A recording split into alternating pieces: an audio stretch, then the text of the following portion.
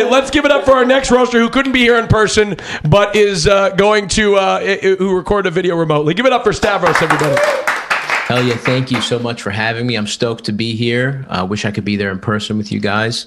Um, for those of you who don't know who I am, um, I'm not the guy who owns the diner by Hasan. I'm his friend, a comedian, Stavros, uh, Stavros Halkias. I'm, I'm excited to be here, and I'm really thankful that Austin, that you invited me to be on this roast. And um, in fact, before we start the jokes, I just want to I want to seriously commend you. You know, um, I think it was really brave of you to come out of the closet to deflect from the fact that you were doing brown face on this platform for years. So, kudos to you um, for pulling a Kevin Spacey.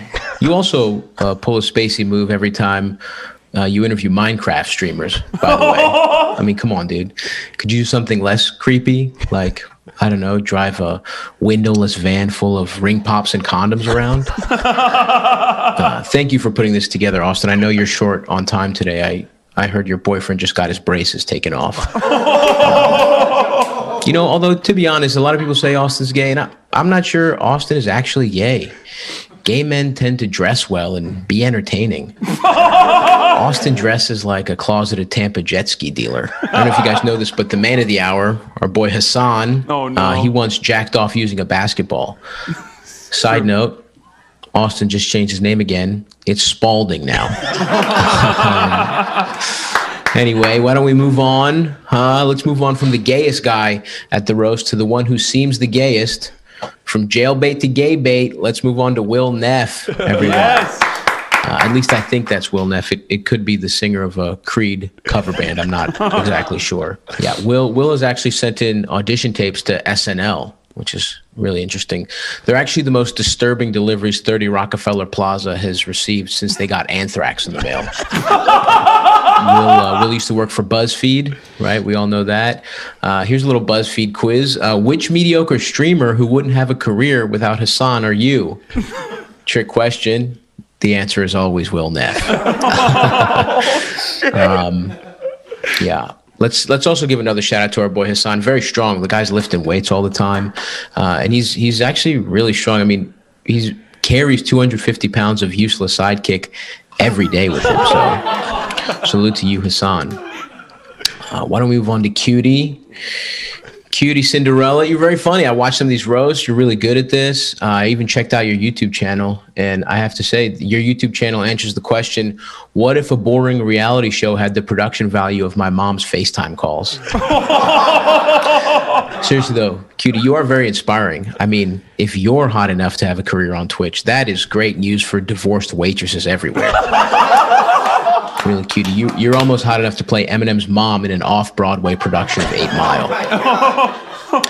Uh, no, but of course, you know, being a Tampa Six isn't why she's doing well, right? We all know that. Cutie is dating a way more popular streamer, Ludwig.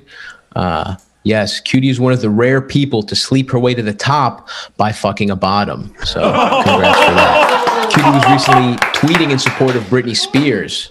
And I think we can all agree if there has to be one talentless blonde imprisoned by her father, it should be you, Cutie. I'm kidding, of course. Britney is incredibly talented.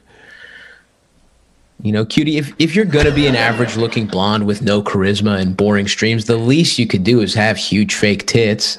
Um, so, speaking of which, Kandyland, right? Uh, Kandyland, I don't understand how you have a following. I mean, I guess your number one demographic is men who have not heard of pornography. Is that right? I mean, let's be honest. If it wasn't for horny 11 year olds with parental controls on their Wi Fi, you'd be grinding up horse meat for IKEA meatballs right now. Kandyland reminds me of another Swedish uh, production, Midsummer. Uh, and by that I mean I would rather jump off a hundred foot cliff than watch one of her streams. she calls herself Kandyland. Judging by your tits, I'm guessing it's a hard candy. really? Who, who did those things? Your titties look like they're filled to the brim with Werther's originals.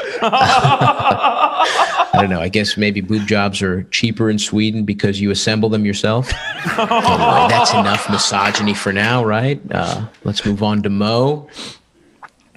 Mo, I'll be honest, I'm not that familiar with your work. I have gotten pussy before. So, uh, but from what I can tell, you make content for 100 Thieves, but they never let you play in the real games. Is that right? I guess you're basically the equipment manager of an esports team. Tough. Must be tough to get stuffed into a virtual locker every day. If the good players on 100 Thieves had any upper body strength, they'd give you a wedgie. uh, Mo, you're like the Michael Jordan of League of Legends in the sense that you're hard to work with and you're a full blown gambling addict. I mean, I've seen some of these videos where you're flipping out. Mo has the rage only a virgin can possess. Uh, I'm confident the only thing you've ever smashed is a mechanical keyboard. Mo, you're not good enough to be on an esports team, yet you named yourself after a League of Legends character. That's kind of like Hasan choosing to call himself Rachel Maddow. Let's go to Jake. Uh, again, Jake, I'm sorry. I don't really know your stuff too much. Um, from what I can tell, Jake is a weeb. Uh, weeb, of course, standing for white, extremely effeminate bitch. Jake, I saw you playing basketball with Hasan and Mo, and you're honestly one of the better streamer basketball players uh, which is kind of like being the streamer who's the best at finding the clitoris, though, if we're being honest. Jake, uh, everyone seems to think you're a cool guy, but I don't know, man. Anytime a generic looking white guy moves to Asia to get pussy, I don't trust it, right? I mean, there's no way you're not a sex criminal. Seriously, Jake went to China for college, uh, Japan to stream, and next he's going to Thailand to avoid extradition. When COVID hit, that put a stop to your streaming temporarily, Jake. So maybe all the deaths were worth it, right? Silver lining. Why don't we move on to the one person at this roast that deserves any admiration, and that's Sasha. Huh, Sasha?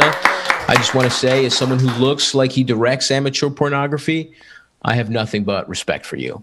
Okay. Uh, seriously, you're the only person who here who's ever had an actual job. You're the only person who ever worked for a living. Uh, Sasha, I've seen you lick a toilet on camera, and this is still the most degrading thing you've ever done online. Sasha likes to call herself uncle.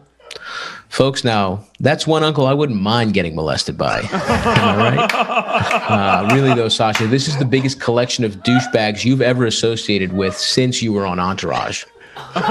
This roast is beneath you, honestly. The other people on this day dais haven't done as much for the world with their entire body of work as you've done with your anus.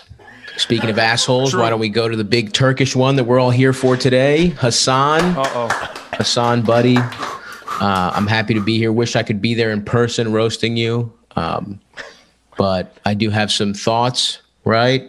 Hasan, like I mentioned before, Hasan used to jack off by rubbing a basketball on his penis. Um, which for a Twitch streamer makes you a varsity athlete, basically.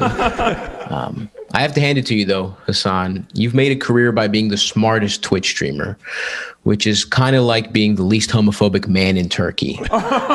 Hasan, I got to say, it is cool that you came on this platform full of horny alt right teenagers and are covering the news from a left perspective.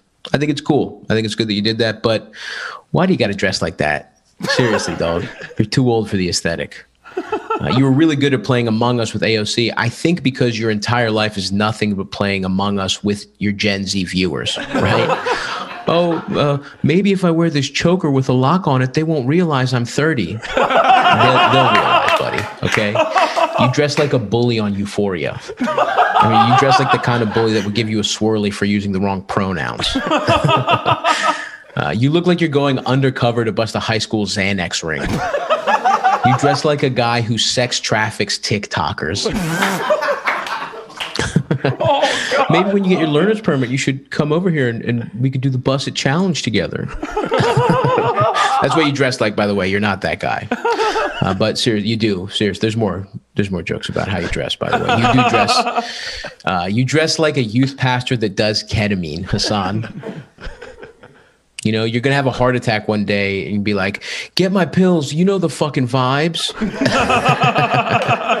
Hasan, you could wear four rings on your hand at once. It's not bringing back your early twenties, dude. I'm sorry. With all those rings on your hand at once, you look like the Thanos of whining about Ben Shapiro. you look like you vape your ED medicine. All right, enough about your fucking style. Um, I got to give it to you though, buddy. You are very successful as far as Twitch goes. You're incredibly successful. You are a proud Turk, though. I will give that to you. Uh, one time you told me most Turks lose their virginity to prostitutes, and you're such a patriot, you still only fuck whores. True. You're a good guy. Uh, Hasan lives with his mom, which is nice, but isn't a part of you ashamed? You know that you make this sweet woman sleep under the same roof where you're getting pegged. I mean, really, this poor lady's had a long day of boiling donkey meat or you know whatever Turks eat, and down the hall you're moaning while a girl on her night off from OnlyFans is eating your ass. Seems a little disrespectful, No. but anyway, buddy, uh, love you. Thanks for having me. Thanks, Austin, for inviting me. And uh, to all the nice people that I don't know that I said horrific things about, sorry, but uh, wish I could have said it to your face in person. But thanks, guys, and uh, have a good rest of the roast. Give it up for Stavros. Give it up for Stavros. He couldn't be here. He's all the way in New York, but unbelievable job.